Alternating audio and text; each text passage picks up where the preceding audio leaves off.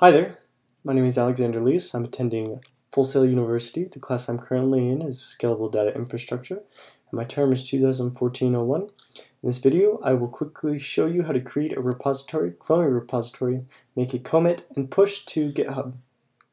First step is going to be uh, creating the new repository on the uh, GitHub uh, internet browser.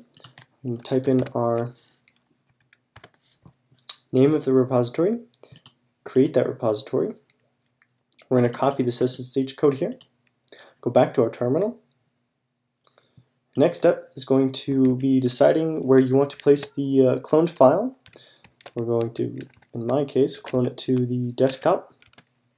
So we've just entered the desktop. Uh, we're going to use git clone, paste that um, SSH, cloning file, we can see that it's popped up there in the desktop.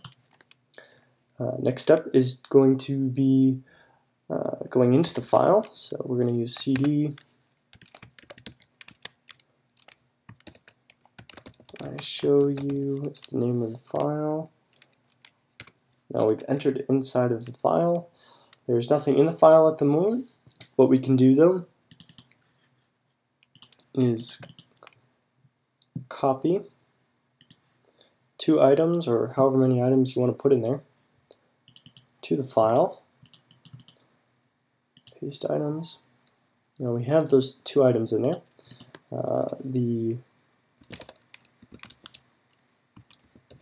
you can see the status of those two. Right now they're not being tracked. So the next step is going to be adding them.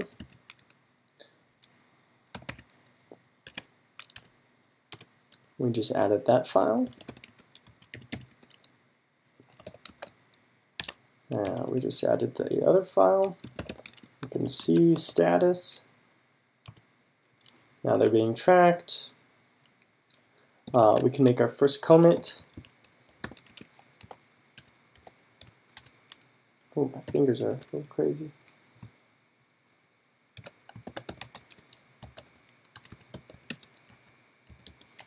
Now you see There we go, we have the first commit. Uh, last step is to uh, push it to the uh, GitHub, because at the moment, even if we refresh our page, there's nothing in the, uh, the, the file on there on the browser there. So we're going to git push origin master. This will push the files, update everything up there so that we're all synced now we can scroll over, we can refresh. We can see that we have the two files and we have our first comment. And that's it. Um, thanks for watching this video. In this video I showed you how to uh, create a repository, clone a repository, make a comment, and push to, to uh, GitHub. Thank you.